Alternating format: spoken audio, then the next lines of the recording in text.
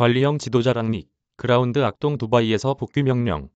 랄프 랑닉 맨유 감독은 역시 관리형 지도자다. 랑닉 감독이 아랍에미리트 두바이에서 재활훈련 중인 폴 포그바에게 복귀를 명령했다. 포그바는 A매치 기간이었던 지난달 9일 프랑스 대표팀에서 훈련을 하다 오른쪽 허벅지를 다쳤다. 회복까지 약 2개월이 소요될 것으로 전망됐고 그는 맨유 전임 사령탑 인 올레 군나르 솔샤르 감독으로부터 허락을 받아 두바이에서 재활, 치료와 함께 훈련을 병행했다.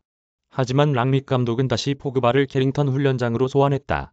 랑닉 감독은 10일 지난 화요일 포그바와 10에서 15분 정도 통화했다. 아직 두바이에 있었으며 오늘 중으로 돌아와 일요일 면담하기로 했다며 부상은 많이 좋아졌지만 아직 완전한 몸 상태는 아니라고 말을 하더라. 정상 훈련에 합류하기까진 몇 주가 더 걸릴 것이고 경기 출전까지는 또 다른 몇 주가 더 걸릴 것으로 본다고 설명했다.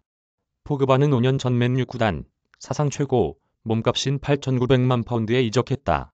그러나 원만한 시간은 아니었고 올 시즌을 끝으로 맨유와 계약이 끝난다. 올 시즌 초반 재협상이 시작됐지만 현재는 완전히 보류된 상태다. 맨유는 현재 그라운드의 악동 포그바를 사실상 손절한 상황이다. 랑닉 감독은 포그바와의 면담에서 거취와 관련된 대화도 나눌 예정인 것으로 전해졌다. 김성원 기자 이메일 주소 카피라이트스 무단 전제 및 재배포 금지